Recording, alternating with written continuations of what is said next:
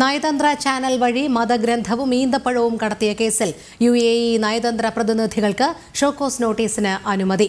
U A E മുൻ consul general attache എന്നിവർക്ക് notice നൽകാൻ വിദേശകാര്യ മന്ത്രാലയം അനുമതി നൽകി.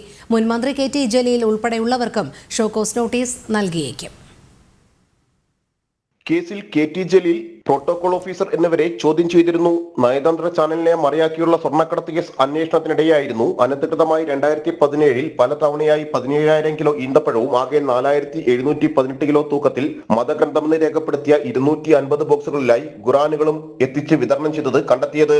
കസ്റ്റംസ് തീരുവ അടക്കാതെ എത്തിച്ച പാഴ്സലുകളിലൂടെ കള്ളക്കടത്ത് നടന്നോ എന്നും കസ്റ്റംസ് അന്വേഷിച്ചിരുന്നു. ഖുറാൻ ഈന്തപ്പഴക്കടത്തിൽ പങ്കാളിത്തമുള്ളതായി കസ്റ്റംസ് പ്രിന്റ് വിഭാഗം കണ്ടെത്തിയ സാഹചര്യത്തിലാണ് യു എ മുൻ consul general Jamal Hussain Al Sabi admin attache Rashid Khamis Ali എന്നിവർക്ക് കസ്റ്റംസ് കാരണം കാണിക്കൽ നോട്ടീസ് നൽകുന്നത്. നോട്ടീസ് അയക്കുന്നതിനുള്ള അനുമതി വിദേശകാര്യ മന്ത്രാലയത്തിൽ നിന്ന് ലഭിച്ചതോടെ നോട്ടീസിന്റെ ഡ്രാഫ്റ്റ് തയ്യാറാക്കിയിട്ടുണ്ട്. വിദേശകാര്യ മന്ത്രാലയത്തിനാണ് കസ്റ്റംസ് നോട്ടീസ് എത്തിക്കുക. ഇത് വിദേശകാര്യ മന്ത്രാലയം യു എക്ക് കൈമാറും. സ്വർണക്കടത്ത് കേസിലും ഡോളർ കടത്ത് കേസിലും നൽകിയ ഷോക്കോസ് നോട്ടീസുകൾക്ക് യു എ നയതന്ത്ര പ്രതിനിധികൾ മറുപടി നൽകിയിട്ടില്ല. കേസിൽ ചോദ്യം ചെയ്യലിന് വിളിച്ചു വരുത്തിയ എല്ലാവർക്കും കാരണം കാണിക്കൽ നോട്ടീസ് നൽകും. മുൻ മന്ത്രി കെ ടി ജലീൽ ഉൾപ്പെടെയുള്ളവർ കസ്റ്റംസിന് മറുപടി നൽകേണ്ടി വരും. മറുപടി വിശദീകരണം പരിശോധിച്ചായിരിക്കും കുറ്റപത്രം തയ്യാറാക്കുക. ജനം കൊച്ചി